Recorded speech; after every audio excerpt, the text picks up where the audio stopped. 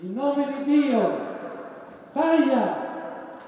Il fiato sospeso, poi l'infrangersi della bottiglia sulla fiancata che ha dato il via allo scivolo fino al mare di nave Trieste, la nuova nave della Marina Militare l'unità d'assalto anfibio multiruolo e multifunzione che rientra nel programma per la tutela della capacità marittima della difesa deciso dal governo e dal Parlamento e avviato nel maggio 2015, la più grande nave militare italiana costruita nel dopoguerra, destinata a diventare la futura ammiraglia della flotta.